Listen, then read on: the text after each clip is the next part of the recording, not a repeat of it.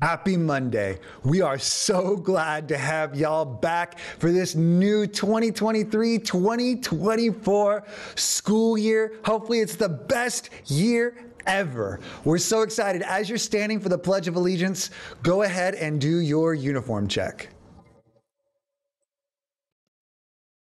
Please stand for the Pledge of Allegiance. I pledge allegiance to the flag of the United States of America and to the republic for which it stands, one nation, under God, indivisible, with liberty and justice for all. Now, the Texas Pledge. Honor the Texas flag. I pledge allegiance to thee, Texas, one state under God, one and indivisible. And now, for a moment of silence.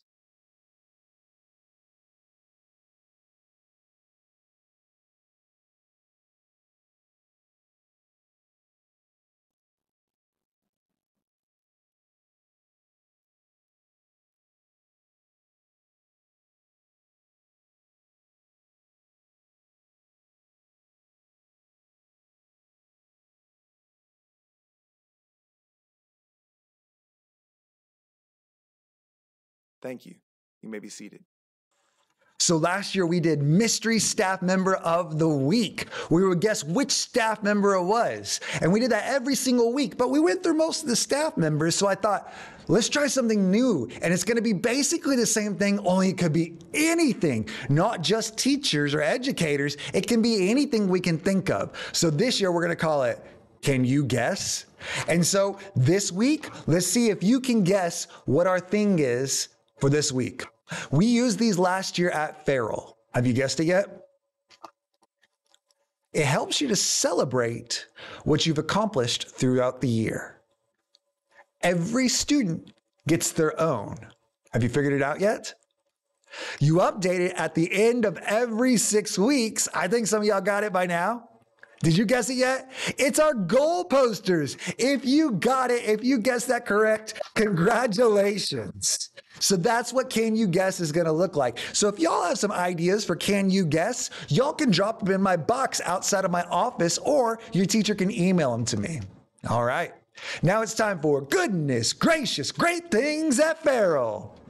So, over the last week, I have been looking for great things, and what I've seen is classes walking through the hall really well, silently and straight. Some of them even holding bubbles, just doing a great job listening to their teachers. And so I snapped a couple pictures, and this is what I saw students lining up so well. Look at these classes, perfect examples of exactly what we want to see at Farrell. So I snapped pictures of those. If you've been seeing great things at Farrell, please let me know. Teachers, if y'all are seeing great things, let me know. So show me something great. So if you got something great going on, perhaps last year we did the lineup challenge where you can line up your whole class in 15 seconds or less with no talking and no hands, feet, or objects to themselves problems.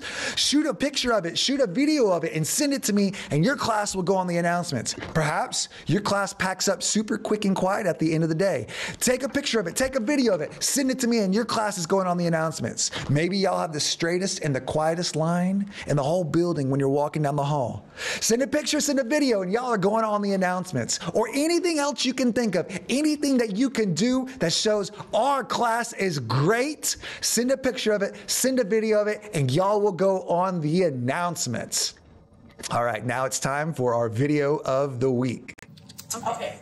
Ruler on the, on the table. table. You drop, drop something on it. It's gonna fall. it's gonna fall. That's not impressive. Ordinary piece of paper onto Just the paper. ruler like that, What's that gonna do? and then you drop something on it. It's gonna fall. It didn't fall. How does that? Oh, I atmospheric found pressure. an artist that likes to paint That on was hills and crazy. What? The paint is made of charcoal and will simply wash away when it rains. Oh, Mr. Bergen, that's y'all's new art project. Go get a mountain and then draw on it. That is so good, too. Look at that dog. He's just chilling. Don't worry, the dog was okay. Oh my goodness, that's so funny. I've definitely done that once or twice in a bed too. All right. So I know y'all think over summer, what do teachers really do? Well, this is what we do. We get together and we hang out at the Cowboys Stadium. And so, yes, this is a couple, a group of us from Farrell hanging out at the Cow- Cowboys Stadium. And I know y'all are thinking that's not really the Cowboys Stadium. Maybe y'all just haven't been to the VIP section like we have. This is us in the VIP section. And y'all are thinking that's not really the Cowboys Stadium. But notice you got Mr. Maples in the Falcon costume. Let me show you how you can know that we were hanging out at the Cowboys Stadium because there is Mr. Maples on the AT&T Stadium, 50 billion long yards stadium uh, screen up there in front of all the people, and then there's another picture of him taking his shoes off because that's what Mr. Maple does out on the Cowboys Stadium. So that's what we do, and then sometimes, you know, over summer, you know, when y'all aren't around, what do we do? We party. So here's a picture of us hanging out and partying. we hope y'all had a great summer too. We know we did.